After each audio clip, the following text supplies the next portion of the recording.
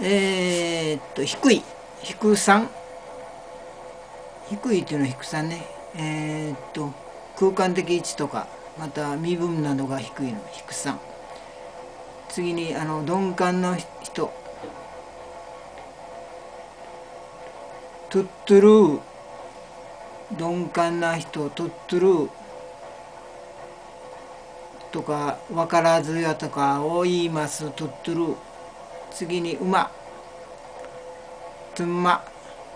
つんまとか馬が馬がって言います。馬が。次にえー、っとおはようございます。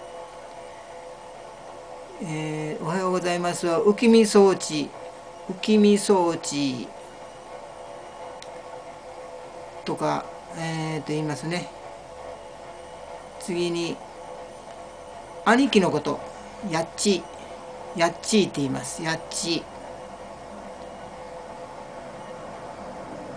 それから次は年上のことですね。年上のことをしーじゃしーじゃ年上とかお兄さん。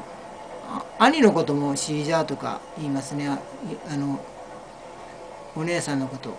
それからえー、っと「茶」いつもとかいう意味で「茶」とか「何々たち」とか「何々ら」とか例えば「わらびん茶」「わらびん茶」の「茶」ですね子供たち子供らと言います次に「お目覚めですか?」あの前あ、うん、え、っと「おはようございます」とちょっと違いますけど「お目覚めですか?」ミークファートゥイビンナミークファートゥイビンナちょちょっと発音がおかしい。イントネーションがおかしい。ミークファートゥイビンナーミークファートゥイビンナー次にあのヤモリ、えーと、沖縄では、えーと、ヤモリいっぱいいますけど、えーと、と内地ではあんまりいてないのいてないですね。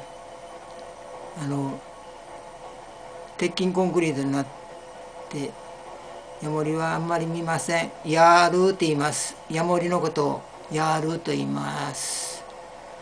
えー、ひくさん、トゥットゥルトゥ、つんま、馬がとかね。えー、浮き見装置、浮き見装置、やっち、つんじゃ、茶、わらびん茶とか茶、ミークファ、ミクはトイビンナミクっていうのは目のこと。ファトイビンナ言います。ヤモリヤール以上です。またやす。